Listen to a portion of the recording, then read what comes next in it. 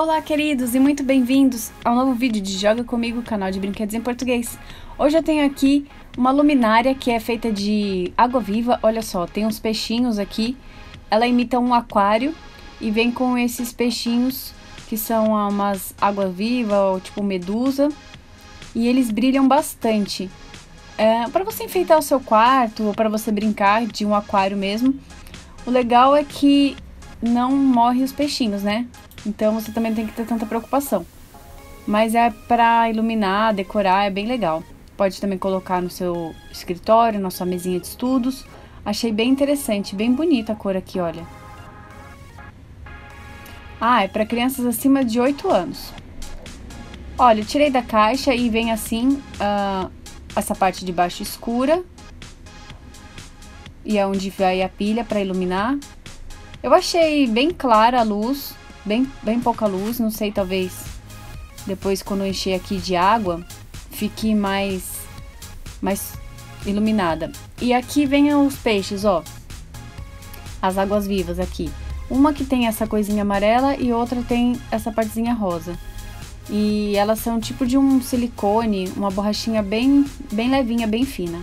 Eu vou colocar água aqui e colocar os peixinhos aqui para a gente ver como fica.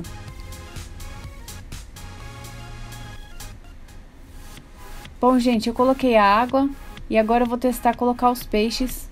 Eu acho que encaixa eles por ali por cima também, porque eu não vi outra entrada.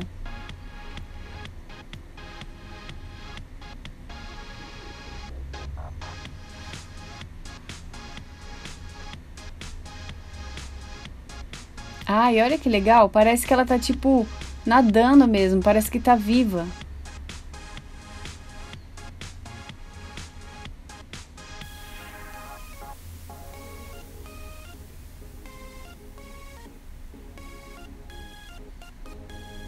Nossa, achei muito legal.